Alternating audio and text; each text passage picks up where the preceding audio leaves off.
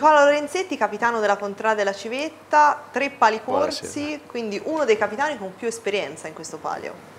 Allora sì, sembra, sembra di sì, eh, ci sono tanti capitani nuovi, eh, alla prima esperienza, addirittura capitani che erano stati ehm, eh, nominati eh, prima del, della pandemia e poi eh, si è chiuso tutto, per cui ehm, devo dire forse ecco, posso essere avvantaggiato in questo senso, avendo corso tre pali ho qualche eh, diciamo un po' di esperienza in più, ma in nel palio poi alla fine l'esperienza vale fino a un certo punto.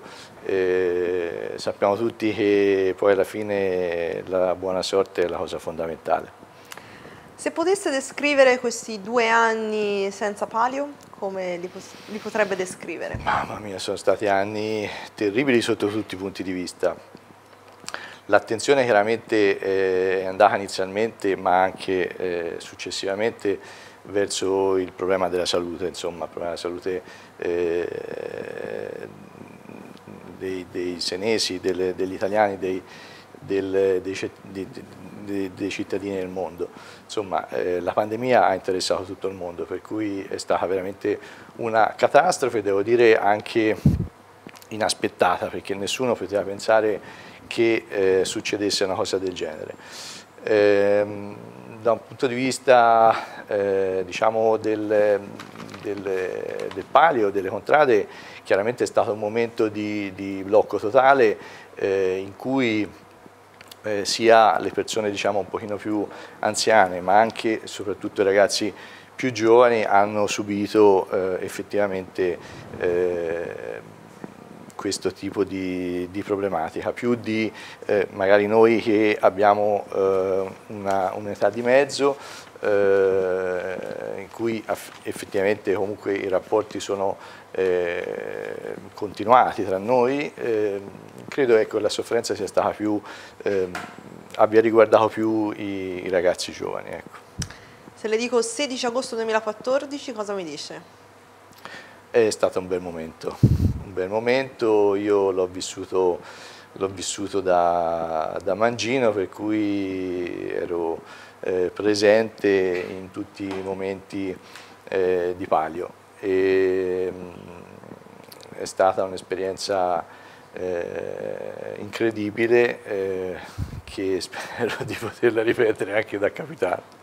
Allora, entriamo un po' nel vivo di, di questa carriera di luglio.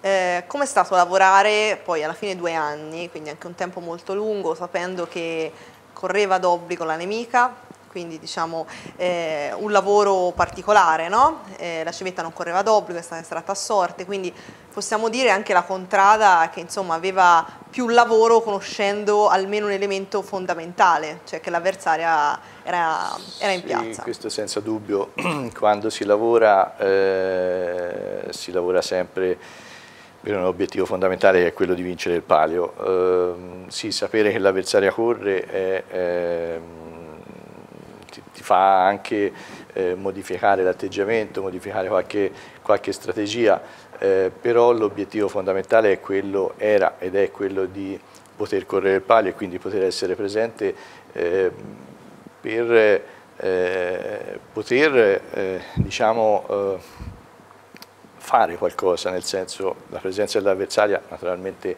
ti impone un'attenzione, ma la tua presenza ti impone anche la necessità di guardare anche a, fare qualcosa di più, non solo guardare l'avversaria. Un palio particolare dove quattro contrade sapevano da molto tempo di correre. Pensa che queste contrade siano avvantaggiate o comunque è stato difficile anche per loro lavorare non conoscendone sei?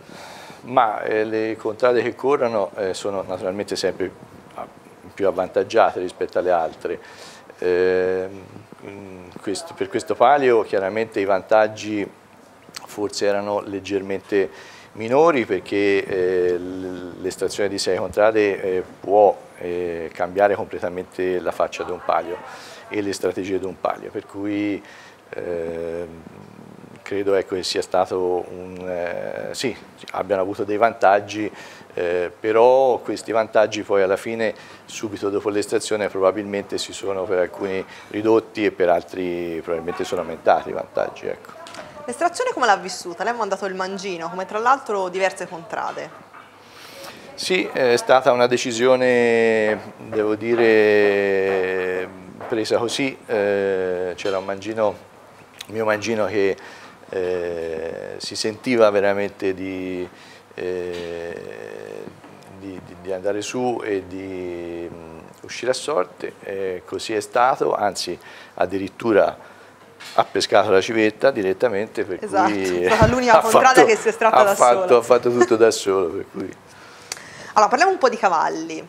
Due anni senza palio, quindi l'incognita cavalli è un tema di cui si è parlato molto anche in questi due anni, no? anche magari con un po' di preoccupazione, cioè nel senso dicendo chissà quali cavalli saranno presi, quali non saranno presi, eh, ritroveremo i cavalli che erano nel 2019 perché comunque ormai sono passati due anni oppure no.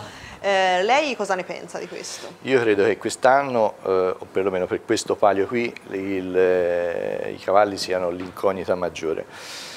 Eh, abbiamo fatto il protocollo, abbiamo visto tutti i cavalli eh, che possono poi partecipare alla, alla tratta ehm, o comunque che possono partecipare ehm, alle, alle, prove di notte e alla tratta. E eh, devo dire che eh, non, eh, non, ci sono secondo me eh, state delle, eh, come dire, delle, non sono state fatte delle eh, valutazioni ehm, precise o comunque che eh, possano dare un, una risposta definitiva su eh, quali cavalli possono poi dopo essere eh, scelti e mm. presi dai, dai capitani. Eh, abbiamo naturalmente ancora eh, l'incognita della piazza, eh, quindi le prove di notte e, la, le batterie credo che siano poi dopo eh, la cartina tornasole più importante. Ecco. Sono però quei, diciamo, quei pochi, diciamo, pochi cavalli no, che conosciamo bene, quei pochi cavalli eh, che hanno vinto almeno un palio. Ecco, quei, quei, cavalli lì secondo lei potrebbero ritornare nel lotto oppure magari si andrà ad, un, ad avere un, un lotto più livellato? Ma questa è una domanda a cui è difficile dare una risposta ora perché c'è da capire un po' anche le strategie delle varie contrarie, dei vari capitani, eh, credo che eh, generalmente eh, si tenda a, ad avere un lotto eh, tendenzialmente livellato. Eh, questo da sempre, però, cioè, perlomeno negli ultimi, negli ultimi, anni è sempre stato un po' eh, il, il leitmotiv. livellamento in alto, livellamento in basso, eccetera, però sempre eh, un certo tipo di livellamento per chiaramente eh, eh, non dare troppi vantaggi magari all'avversaria o ehm, comunque eh, poter eh, correre il palio con eh, con degli obiettivi anche rivolti alla vittoria. Insomma. Poi sicuramente una contrada che ha una nemica fa anche delle scelte diverse no? rispetto ad altre. Sì, è e quello è possibile naturalmente.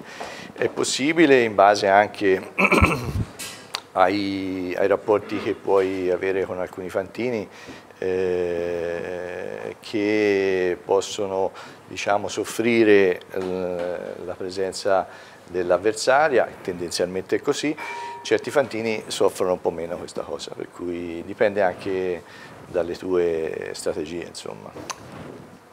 Allora, noi continuiamo la nostra chiacchierata. Allora, un palio, questo dove se analizziamo un po' le 10 contrade che corrono, ci sono due coppie di nemiche appunto, poi ci sono tante contrade che non vincono anche da un po', no? quindi hanno anche una gran voglia di vincere, anche se quella poi lo sappiamo, no? ovviamente la, la, hanno tutti, eh, e poi ci sono due contrade, Bruco e Drago, che non hanno nemiche in, in generale. Secondo lei quale sarà l'elemento, il, il fattore determinante in questo palio? Ma eh, sì, l'analisi eh, va fatta, l'analisi giusta, questa che, che sta dicendo, nel senso che sicuramente le contrade che non hanno l'avversaria sono eh, ovviamente eh, favorite, eh, se si vuole, ehm, nella scelta della, della situazione che può, che può, fare un fantino rispetto, rispetto a un'altra situazione. E, però io credo che l'elemento eh, sostanziale sia sempre il cavallo che ti, che ti, viene assegnato e questo fa tanto la differenza, eh, sia eh, anche in, eh, in, contrade che alla fine hanno la rivale. Ecco. Fattore economico, due anni dopo Palio, quanto valore ha? Ma sì, eh, quello sicuramente, il fattore economico ha, eh, ha un certo valore, ehm, però non farei troppa differenza tra il fattore economico dopo due anni di non palio e il fattore economico mm. magari eh, precedentemente a questi, a questi, due anni. Credo che abbia un peso, eh, però non è, non è l'elemento determinante, almeno spero, per quello che mi riguarda. E, ehm, altrimenti ecco, eh, dovrebbero vincere sempre più o meno le stesse contrade. E Invece così non, è stato. No, non è stato e probabilmente non lo sarà nemmeno mai. Ecco. Allora, un anno particolare questo anche per un altro motivo, per una grande assenza. Andrea Mari era un fantino molto legato alla contrada della civetta. Andrea Mari ha vinto due pali nella civetta, 2009 e 2014, e mh, ha cambiato la storia della civetta, la storia, della, la storia moderna della civetta. Dopo 30 anni di diciamo, di, di, stenti, eh, finalmente nel 2009 con Andrea abbiamo vinto e di lì è iniziata una, un rapporto eh, che non è, di, non è, stato solo un rapporto di, di, di lavoro, un, rapporto che riguardava il palio, ma con eh, tanti civettini, con tante persone che gli stavano vicino e che gli volevano bene, eh, ha veramente eh, avuto rapporti di amicizia, di, oltre che di collaborazione eh, nel paio naturalmente. Eh, spesso con Andrea ci, ci, capivamo anche solo con uno sguardo, anche senza, senza parlare.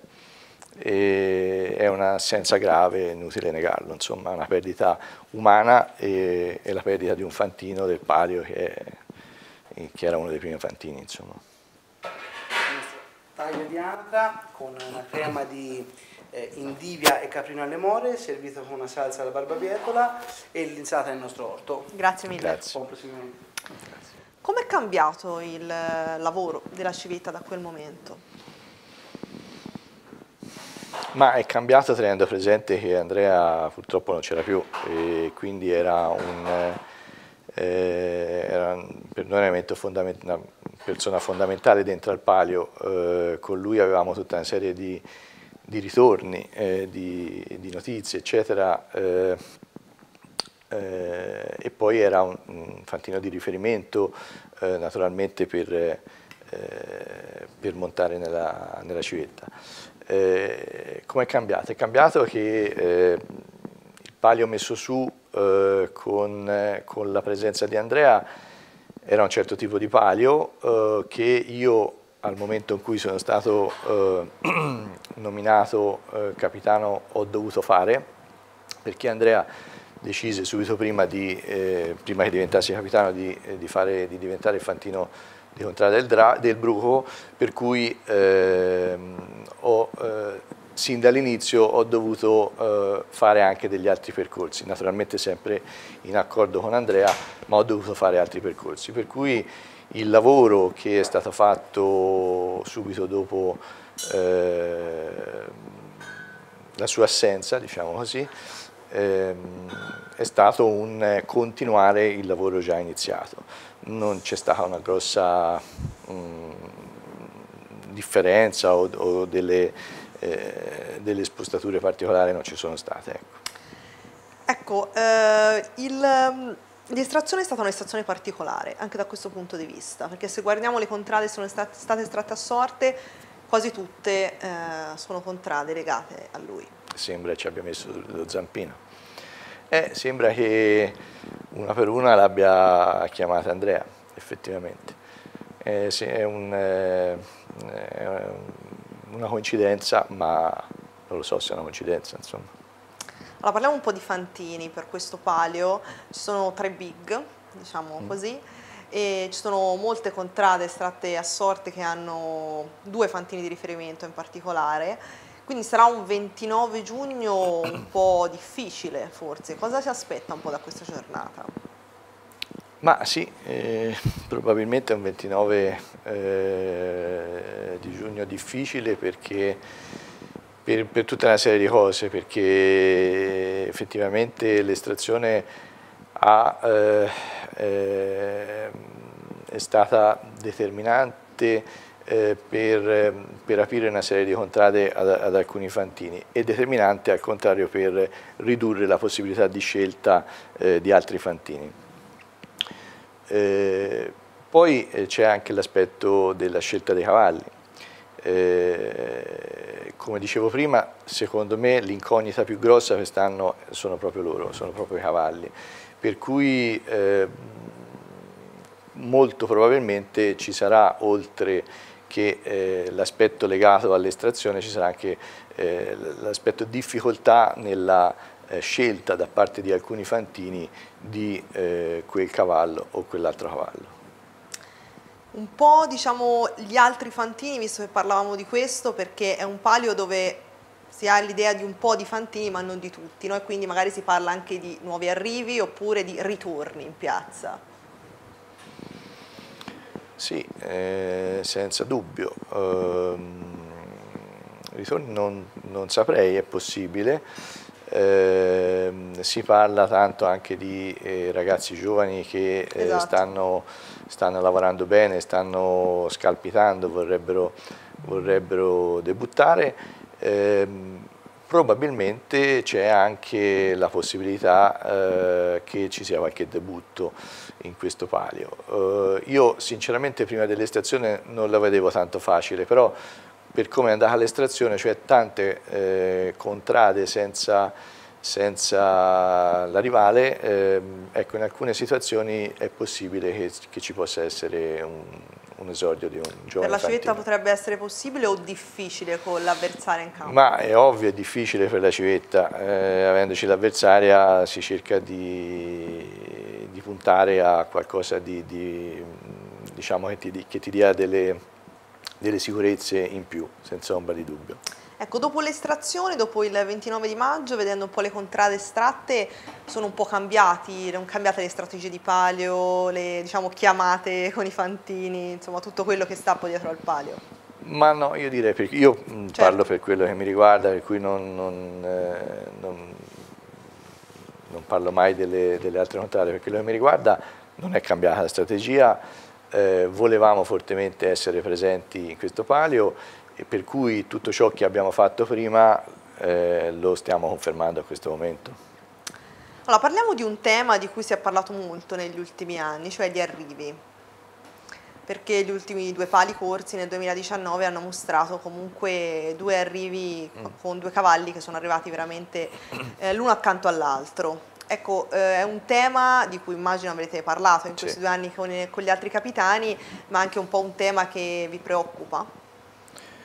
La preoccupa chiaramente. Ma allora sì, un po' preoccupa devo dire perché si è visto che insomma i cavalli sono tutti ben allenati, sono tutti pronti, ehm, i fantini sono dei professionisti per cui è chiaro che eh, il, il, livello è sempre forse più, più appiattito e, e quindi probabilmente si andrà incontro a degli arrivi di questo genere più spesso. Eh, e forse non sarà così, però ne abbiamo parlato devo dire, eh, abbiamo fatto un paio di riunioni eh, paio d'anni fa, un anno e mezzo fa, eh, ne abbiamo parlato tra i capitani, è una cosa che poi abbiamo anche rappresentato all'amministrazione, però è chiaro che questo è, una, eh, è un tema ehm, esclusivo dell'amministrazione, cioè l'utilizzo della tecnologia. Eh, a livello suo personale cosa ne pensa? Cioè bisognerebbe intervenire oppure no? Ma eh, non saprei, io per il momento lascerei le cose come stanno, devo dire la verità. Cioè si stanno facendo una serie di cambiamenti eh, nel palio che eh, devono per forza eh, diciamo, ehm, portare dei, dei, delle migliorie. E, questi cambiamenti io li farei in maniera eh, progressiva e non li, graduale. Non li, sì, graduale, non li, non li metterei in campo tutti insieme, ecco, senz'altro. Percentuale di fortuna e percentuale di strategia nel palio. Ma la fortuna è l'80% e la buona sorte è il 20%. Mm, quindi scherzando, no, quindi scherza- strategia non la facciamo. scherzando, scherzando. No, scherzo. Stavo scherzando e la strategia è fondamentale naturalmente perché ti porta poi dopo a fare delle scelte e le scelte sono fondamentali per cogliere la fortuna che eh, passa o non passa. Allora, scaramantico oppure no i giorni di palio? No, non sono scaramantico. Nessun- niente, per niente. per niente. Quindi non c'è qualcosa... Ho affrontato i pali che ho affrontato da capitano e da mangino, ho affrontati tutti mh, anche in maniera differente, non, eh, non- non sono un metodico, non sono uno che fa eh, le stesse cose eh, oppure Indossa gli non fa, indumenti. o indossa gli stessi indu- indumenti o- oppure non fa più quelle cose perché quel palio lì non, andato, non è andato bene, eccetera. No, sinceramente no, Tutto lasciato al caso. assolutamente sì, credo sia la cosa migliore. Cosa significa per lei essere capitano? Bah, eh, per me è una grandissima responsabilità. Io non vivo eh, questo incarico con leggerezza, non mi riesce di viverlo con leggerezza e forse invece sarebbe anche più opportuno e anche più bello. Eh, è una- per me è una grossa responsabilità e eh, cerco di condividerla eh, con le persone che mi stanno vicino. E fare il capitano significa portare la contrada in piazza e, eh, e correre il palio. Può andare bene e può andare male. Se va bene sei stato e vinci, sei stato un grande capitano. Se non va bene purtroppo eh, non lo sei. Grazie mille. Prego. Ci-